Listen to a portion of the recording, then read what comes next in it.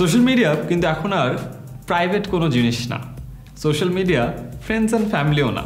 Social মিডিয়াতে এখন আপনার প্রফেশনাল কলিগস থাকে, আপনার জুনিয়রও থাকে, আপনার বস থাকে, আপনার অ্যালামনাই থাকে, আপনার বসের বসও থাকতে পারে you don't know so social media আপনার ল্যাঙ্গুয়েজ আপনার এটিকেট কি পোস্ট করছেন, না করছেন, এইসব দিকে খেয়াল রাখা it's very important never rant on social media অনলাইনে পারলে নিজের যে ক্ষোভ আমরা ঝাড়ি ওই জিনিসটা থেকে একটু হলেও দূরে থাকেন। কেউ যদি সারাক্ষণ খুব ঝাড়তে থাকে যে এই কোম্পানি ভালো লাগে না ওই ক্লায়েন্ট আমার পছন্দ হয় না এই কাজটা আমার ভালো লাগে না, ওই কোম্পানি আমি লিভ করব।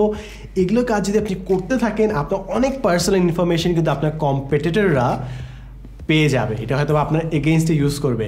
এবং হয়তো অন্য মানুষ দেখবে এবং ভাববে যে, একে যদি আমরা ক্লায়েন্ট হিসেবে পাই, এ তো সারাক্ষণ বকাবকি করবে। এর সাথে কাজ করা তো বিপদ, কারণ হিজ এ লুজ ক্যানন তাই মেক শিওর আপনি যখন অনলাইনে কাজ করছেন অনলাইনে পোস্ট দিচ্ছেন, সারাক্ষণ যেন র্যান্ট আমরা না করি। কারণ ওটা যত না আমাদের প্রফেশন ইমেজটা তৈরি করবে, তার চেয়ে বেশি এটা খারাপ ইমপ্রেশন তৈরি করবে। প্রতিটা সোশ্যাল মিডিয়ার একটা আলাদা ল্যাঙ্গুয়েজ আছে। ফেসবুকের একটা ল্যাঙ্গুয়েজ আছে।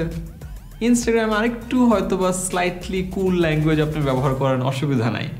লিঙ্কডিনে হয়তো বা একটু প্রফেশনাল ল্যাঙ্গুয়েজ মেনটেন করতে হবে।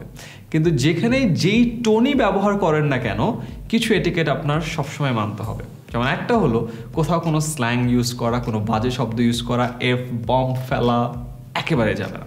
বিকজ আপনি জানেন না at the end of the day সেই কমেন্টটা বা সেই পোস্টটা বা সেই স্টেটাসটা কে কে পড়ছে? ল্যাঙ্গুয়েজের সামঞ্জস্য বজায় রাখার জন্য একটি ভাষা নির্বাচন করাই বেটার আপনি যদি ইংরেজিতে লিখেন, পুরোটা ইংরেজিতে লিখুন। আপনি যদি বাংলাতে লিখুন, তাহলে পুরোটা বাংলায় লিখুন।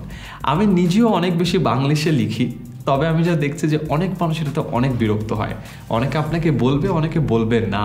তো যেহেতু মানুষ অনেকে বলবে না, তো কেউ যদি আপনাকে না বলে থাকে, আমি আজকে বলে দিচ্ছি যে অনেক মানুষ বিরক্ত হয় এবং আমি এটা ঠেকে শিখেছি। সো আমি চাই না আপনি ধাক্কাটা খান।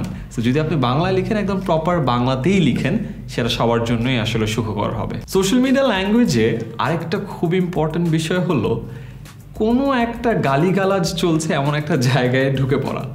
এরকম জায়গায় নাক ঢুকে পড়ে বেটার তার কারণ হলো যেখানে গালিগালাজ চলছে, সেখানে আপনি যে কোনো কিছু একটা বোঝানোর চেষ্টা করল হয় আপনাকে গালি দিতে হবে, যেটা একেবারেই দেওয়া উচিত না, অথবা আপনার গালি খেয়ে বের হতে হবে। কারণ কখনো সোশ্যাল মিডিয়া কি দেখেছেন? যে কেউ গালাগালি করছে, এর মধ্যে দিয়ে একজন আসছে, সে একদম কঠিন আর্গুমেন্ট দিয়ে একেবারে প্রচুর শক্ত একটা লজিক দিয়ে বুঝিয়ে ছেড়েছে। কখনোই হয় না। সে জিনিসটা আরও খারাপের দিকে যায়। তাই এই সব জায়গায় অ্যাভয়েড করে নিজের ল্যাঙ্গুয়েজকে সংযত রাখি, বাজে ল্যাঙ্গুয়েজের শিকারও যেন না হই, এরাও খেয়াল রাখতে হবে। অনলাইনে যখন আপনি কথাবার্তা বলছেন পোজ দিচ্ছেন পারলে একটা সোবার টোন মেনটেন করেন অর্থাৎ প্রফেশনাল টোন মেনটেন করেন যেন মনে না হয় যে কেবল ইউনিভার্সিটিতে জয়েন করেছে এবং বন্ধুদের সাথে একটা আড্ডা কিংবা একটা ওয়াচ পার্টি তৈরি করছে সে তার পোস্টের মধ্যে।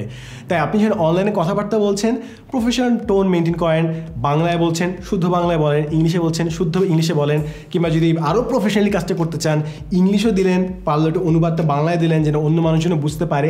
সো দ্যাট আপনার কথাবার্তা আচার আচরণে বোঝা যায় যে আপনি একদম প্রফেশনাল একজন মানুষ তিনটা লাইনে যখন একটা পোস্ট শেয়ার করে, কোনো একটা স্ট্যাটাস দেয় ওটা দেখে অনেকটা বোঝা যায় তার গ্রামার সেন্স কত, তার অ্যান্টিক্যাল স্কিলস কত, তার কোম্পানি সম্পর্কে কতটা ধারণা প্রোডাক্ট নিয়ে কী চিন্তাভাবনা করছে। তাই আপনি অনলাইনে যা কিছুই দিচ্ছেন না কেন, আপনার অনলাইনে ন্যারেশন লিঙ্কডিন হোক ফেসবুক হোক ইনস্টাগ্রাম হোক টুইটার হোক, যা কিছুই হোক না কেন, আপনার টোনটা কি বেশ পলিটিক্যাল বেশ কন্ট্রোভার্সিয়াল বেশ ডিপ্রেসিভ কিংবা আপনার টোনটা কি হ্যাপি নাকি একটু প্যাশনেট মোটিভেশন ইন্সপিরেশনাল সেটিকে অনেকটা নির্ভর করে আপনি আপনার কতটা ইমপ্রেশন ভালো মতো মানুষের মনে গাঁথতে পারছেন। তাই মেক শিওর আপনি যে ন্যারেশনটা অনলাইনে দিচ্ছেন, আপনার টোনটা যেন ঠিকঠাক থাকে। দিন শেষে আমাদের কমিউনিকেশন কিন্তু সামনাসামনি কমই হয়। সোশ্যাল মিডিয়াতেই বেশি হয়। তাই সোশ্যাল মিডিয়াতে আমাদের এই ল্যাঙ্গুয়েজ সংযত রাখা উচিত, আমাদের কমিউনিকেশন বেটার করা উচিত, বাংলাটা শুদ্ধভাবে লেখা উচিত, ইংলিশে গ্রামার চেকটা দিয়ে পোস্ট করা উচিত, এবং সর্বশেষে এমন কিছু না লেখা উচিত, যেটা হয়তো বা কাউকে হার্ট করতে পারে, কারও রিলিজিয়াস সেন্টিমেন্টে আঘাত আনতে পারে, অথবা কোনো একটা জনগোষ্ঠী এটাতে বিরক্ত হতে পারে। তাই খেয়াল রাখুন, আপনার পোস্ট আপনার স্টেটাস আপনার কমেন্টে কোনোভাবে যেন কেউ আঘাত না পায়।